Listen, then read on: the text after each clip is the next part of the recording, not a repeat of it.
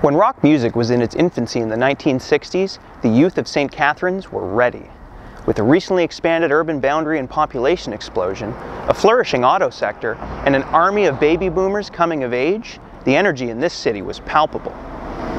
Before the major label centralization of the rock music industry, it wasn't yet considered a given that you'd have to move to a big center like Toronto to make it. This was a cultural revolution after all, so why not St. Catharines? I'm here at the corner of Lake and Wellington near downtown St. Catharines where The Castle, a nightclub for teenagers, once stood. This is History from Here, a video series presented by the St. Catharines Museum and Welland Canal Center.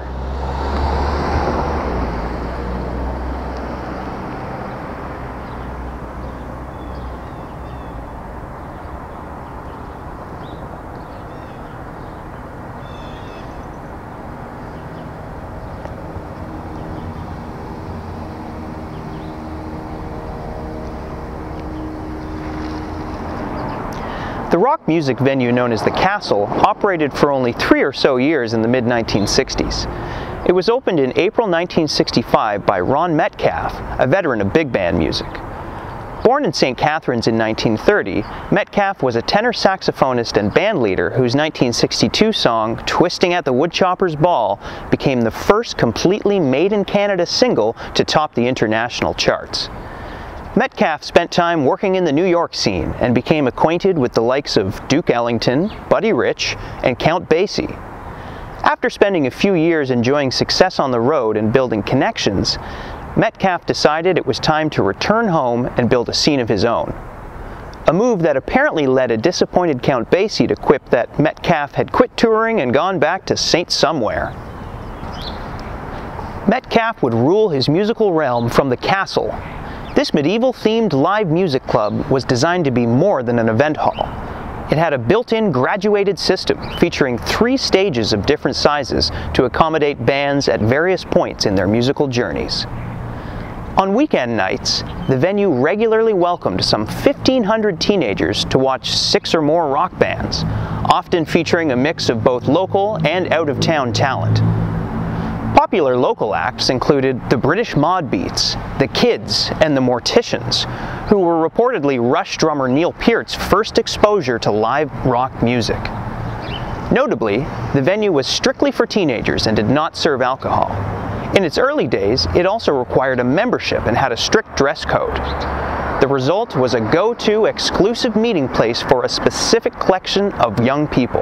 In other words, like Ron Metcalf predicted, it became a scene. Like better known figures including Brian Epstein and Berry Gordy, Ron Metcalf was much more than a passive business owner. Metcalf took many of his regular local performers under his wing, soon helping to establish the management agency Image Artist Representatives. Metcalf would meticulously curate the performance bills at his club and would even move members between bands in order to create the perfect sound for his St. Catharines rock scene.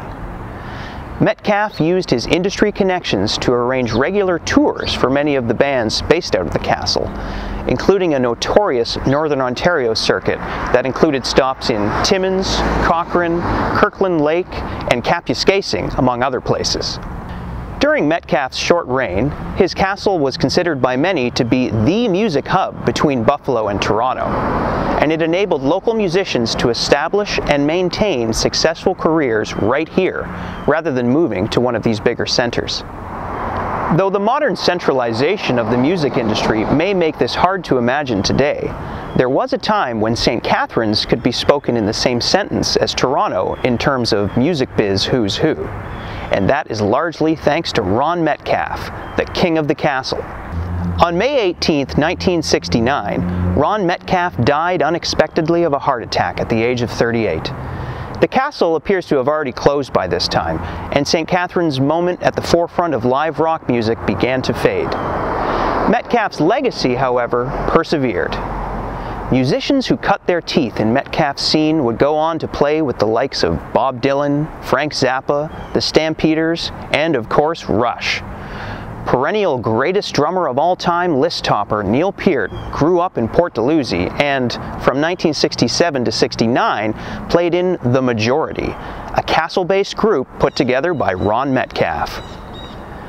Though Though its tenure here was short, the castle's cultural impact was immense, being considered pivotal to the musical output of a generation and the epicenter of St. Catharines' moment in the musical big leagues. The building that housed the castle has long been demolished, but the heart of the music it produced still beats in St. Catharines and around the world.